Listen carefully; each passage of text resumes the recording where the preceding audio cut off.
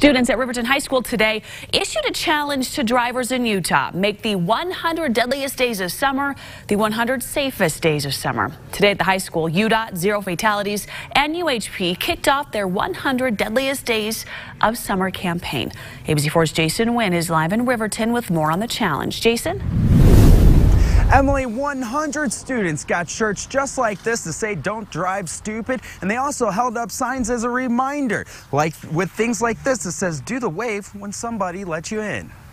In 2018, Zero Fatalities says 102 people died during the 100 deadliest days of summer. It makes me really sad because like people like won't stay off their phones and like they just they do all these things that they don't really realize the long-term effects of it and that just it makes me sad.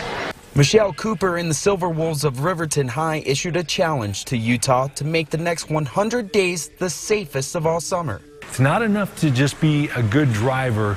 You have to always watch out for everybody else on the road as well. Troopers are already seeing a deadly year. At least 84 right now. And so uh, this isn't a good start. We're hoping to see some behavioral changes. Zero Fatalities says last year 26 people died because of aggressive drivers. Some of that was people riding too close to each other or cutting someone off. If they're going 70 plus miles an hour on a roadway that's posted at that speed, you're the problem if you're tailgating them, and I will stop that car versus the person who's not letting you past. Troopers say reflective clothing will help out everyone when it's dark out.